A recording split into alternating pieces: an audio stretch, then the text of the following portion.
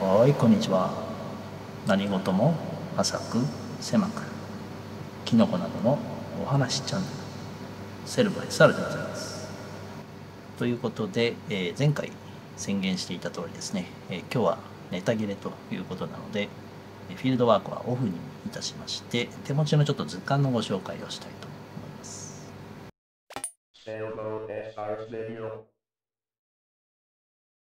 時系列で買った順にですね、えご紹介していきたいと思います。構成としてはですね、えいわゆる売られている図鑑。その次にウェブ図鑑という感じでご紹介していきます。でまず私が買いましたのが文一総合出版から発売されておりますポケット図鑑シリーズ。日本の機能262柳沢牧義さんの記した本でございます。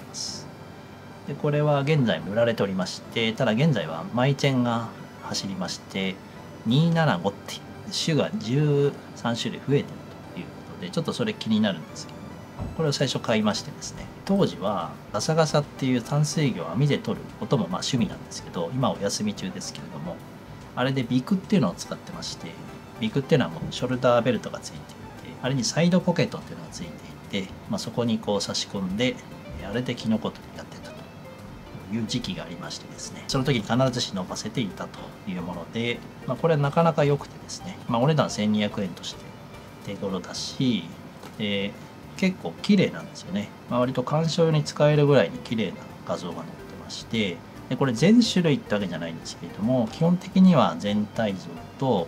え傘の裏と塚が見える状態とかを載せてくれてるので結構分かりやすい。ポケット図鑑ですから面積も限られてるんですけどそれが非常にうまく使われていて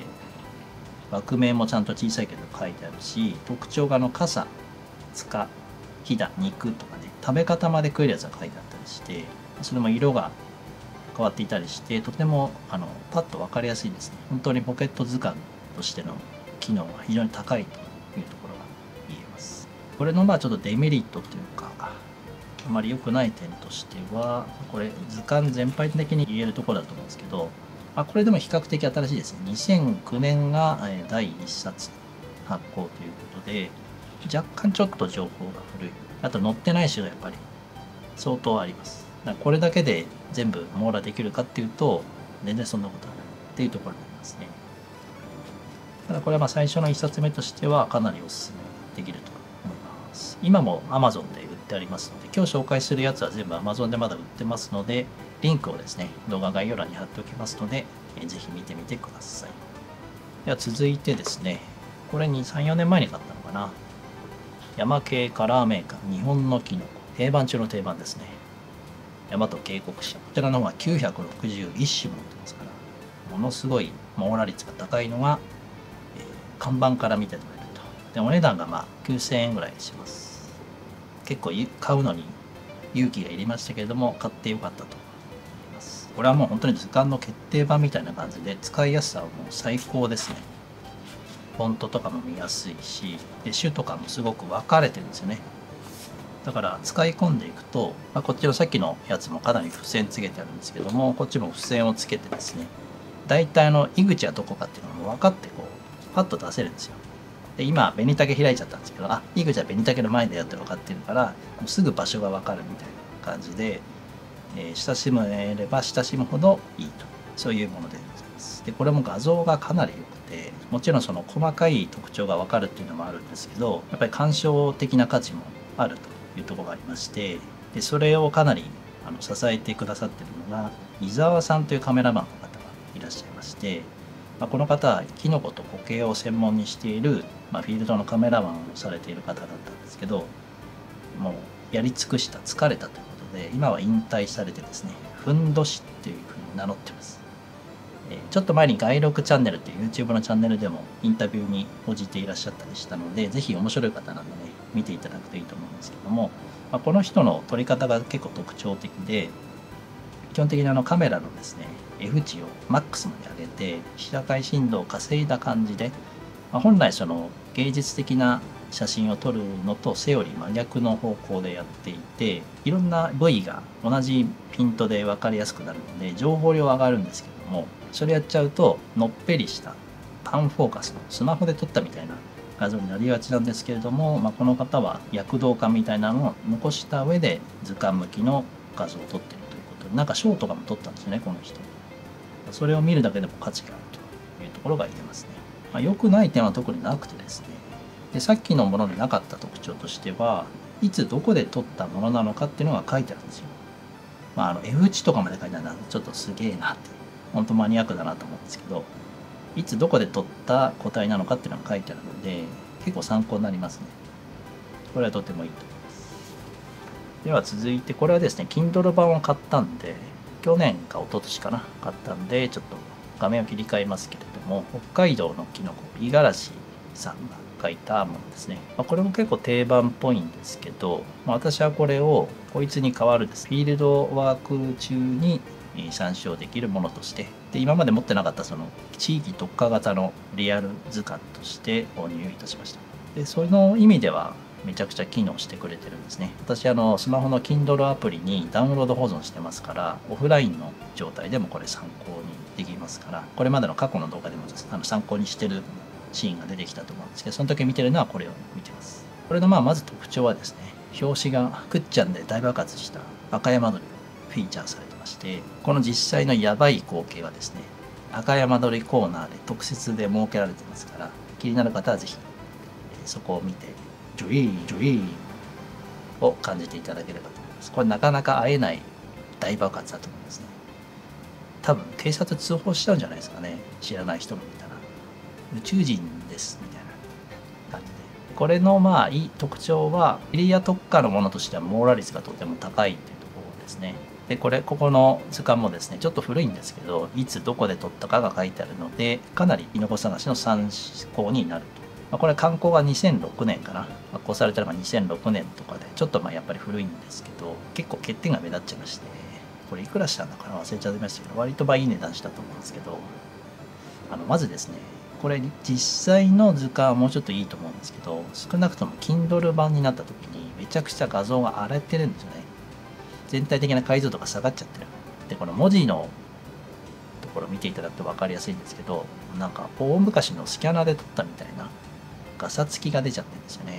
これがとっても残念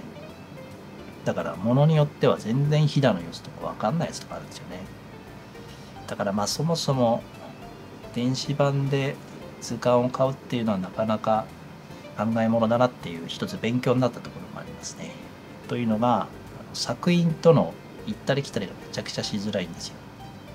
まあ、当然後ろの作品があるんですけど手の感覚でさっきのものみたいにどこの真ん中ら辺に井口がこれ来てるとかですね。現地だと操作しづらいので、まあ、こうやって真ん中持ってこれることはできるんですけど付箋とかつけらんないんでね。だ今現地では今これ1ページ表示になってますけどスマホを横にすると見開きのページになるのでそれでもうダダダダ高速のダダダダダダっつってね。それで見るようにしてますけどもそうすると全体がこう圧縮されちゃって見づらくなるとかね。なかなかちょっと考えものなんですけれども。ただまああるだけあると非常にありがたいですよね。特にエリアの特化をしてますからそもそも探しても見つからないキノコっていうのはどうしてもありまして、まあ、北海道だと陸が分断されているのでそれが特に顕著なんですよね。そういうものを無駄に捜索しないようにするという意味でもとてもいいかなと思います、はい、で次はちょっと参考資料なんですけどキノコといえば木の子供ということでございますからあの木を知れとキノコを知る前に木を知れということなんですけどこれは私にとっても非常に痛い命題でございまして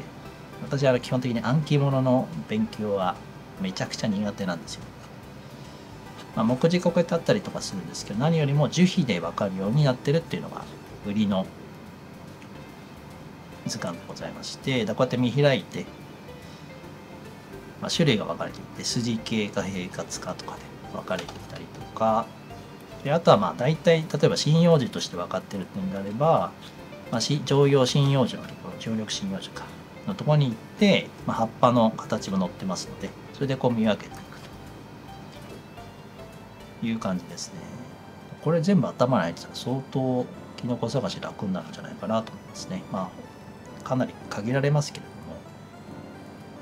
これも結構いいと思う。これお値段1200円です。これと同じだ。はい。セレコ SR の動画。じゃあ、リアル図鑑系はここまででございまして、この後は Web 図鑑のご紹介に入ってまいります。まず最初にトップバッターとしてはですね、オソ的キノコ写真図鑑というページがございまして、これも何度も過去ご紹介してきていたと思うんですけど、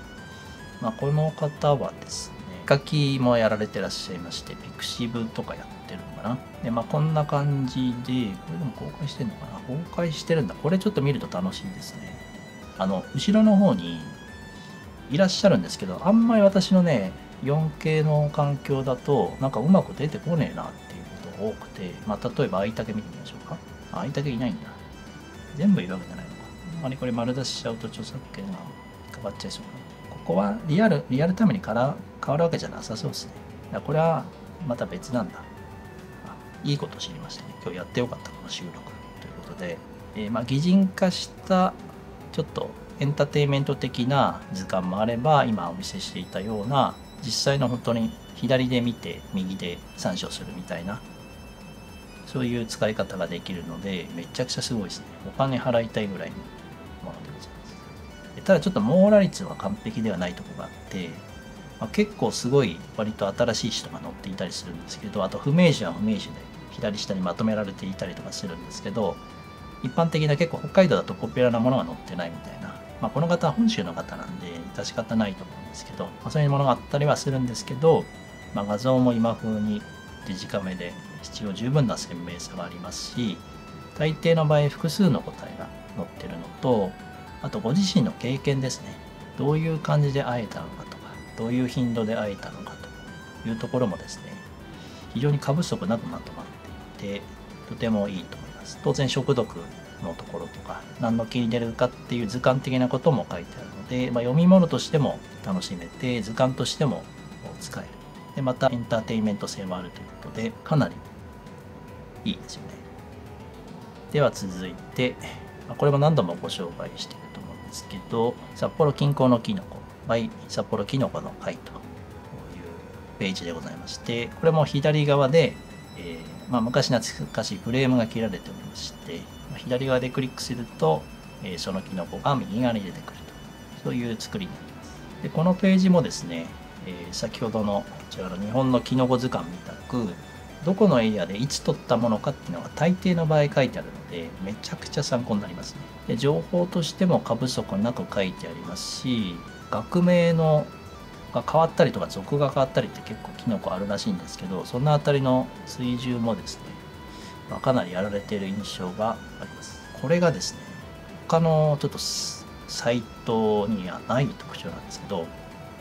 似たキノコっていう項目があるんですよ。めちゃくちゃこれ初心者に非常に合わせてくれてる機能だと思うんですけど、まあ、例えばたまたま今開いた赤髪ってあのやっぱりあの似たやつ多いんですよ。で赤もみたけがまあ一番ヒットだと思うんですけど、まあ赤もみたけ飛べますと。で赤もみたけに飛ぶとやっぱり似たキノコとして赤髪書いてあります。で別の種類が書いてあることもあるので、まあ、そんな風に見ていくとその見て調べてるキノコが大体どの界隈なのかっていうのがだいぶ見えてくる。例えばそこで3種類出てきたらその3種類を別途ググったりするとより角度が高まってきて最終的に同定できるっていう力になってくるのでめちゃくちゃこのサイトはこれもお金払いたいですね。幽霊キノコ会員なのかなと思ってたりするんですけどでは最後三河の植物視察というページでございますけれどもこれもちょっとですね収録のするにあたって知ったんですけど実はこれ個人がやられてるページでございましてま愛知の愛知県に三河地方っていうのがあるらしいんですけど、まあ、そこにお住まいの方がですね、まあ、植物とあと地衣類とキノコこれをですねご自身の足で調べ回って撮影してウェブ図鑑にしてるっていうとんでもないサイトでございます。ここのキノコで見ていきますと、まあ、残念ながらあの尺印で引っ張れるような機能はないんですけどこれは普通にブラウザの検索機能を使えば掲載されているものはこうやってパッとヒットするので、まあ、この機能を使えばいいんですけど特に結構井口が充実してましてで結構レア系のやつも普通に載ってたりするんです。こういうのに載ってないような。例えば欧米に白足井口とか載ってる図鑑ってないんじゃないかなっていうのも載ってまして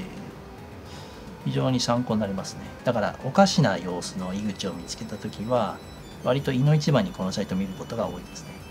大体これに載ってるやつっていうのはなんとなく風貌が頭に入ってるのでそこに該当しない坊やが出てきた場合は特に黒系ですね。それらの場合はこれ先に見ることが結構多いと。そういうサイトでございます。はい、というわけでですね私はまあキノコを始めて7年目ということなんですけど万年初心者という状態でございまして、ただ一つの図鑑を買えば全部網羅されてるわけではないというところとまず食えたやつが食えなくなるとかね属が変わるとか新種がポンポコその辺に出てるとかですね。なかなかあのフィールドワークの対象としては奥深いフロンティアだと思ってるんですよね、まあ、それだけにこれだけ長く別チャンネル作っちゃうぐらいにハマってたりするんですけどというのはまあさ昔からなんですけどインスタの DM とかねあと最近はそのキノコチャンネル別枠にしたっていうのもあって古い動画のコメントとか DM でですねこれは食毒不明なんですかとかねこの画像のキノコは何ですかとか聞かれることが結構ありまして、まあまず私に聞くと死にますよってとこなんですけどその代わりにですね本当に若いやつはお答えしますし全くスルーするってことはあんまないんですけどただま画像だけ送られてきて、まあ、この人聞きたいんだろうなでも文字が書いてないからそれは無視するってなりますけど文章があったら大抵何何かは返すんですけどそんなのを聞くよりはこういうちゃんとした先人たちの知恵を参考にしていただきたいということでこの動画を作りました。ではまた別の動画でお会いいたしましょう。さよなら。